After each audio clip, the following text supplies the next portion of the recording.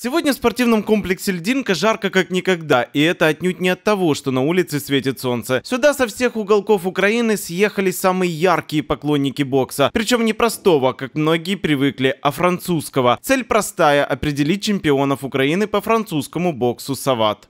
Сегодня торжество, великое торжество спорта. Это чемпионат Украины среди э, французского бокса.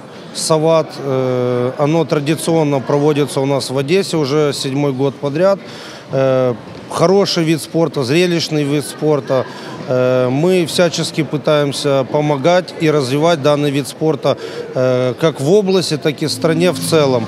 Данный вид спорта появился относительно недавно и пока не является олимпийским. Однако французский бокс уже нашел своих почитателей и желающих сразиться на ринге. Фанатов немало, как оказалось, есть поклонники даже среди одесских депутатов. Дело в том, что э, Сават э, в Украине приобрел популярность относительно давно, но был юридически формализован с 2008 года. И э, фактически официальные соревнования по Савату начали проводиться именно с 2008 года. И я думаю, что этот вид спорта тоже займет одно из ведущих мест в э, единоборствах в Украине чемпионате принимают участие более 100 юношей и девушек разных возрастов и весовых категорий. На кону стоит не только звание чемпиона Украины по данному виду спорта, но и попадание в состав сборной страны, которая в скором времени отправится в Хорватию на чемпионат мира. Ставки высоки, спортсмены настроены серьезно и не теряют оптимизма. Тренувалися дуже довго, десь може місяць, може трошки більше.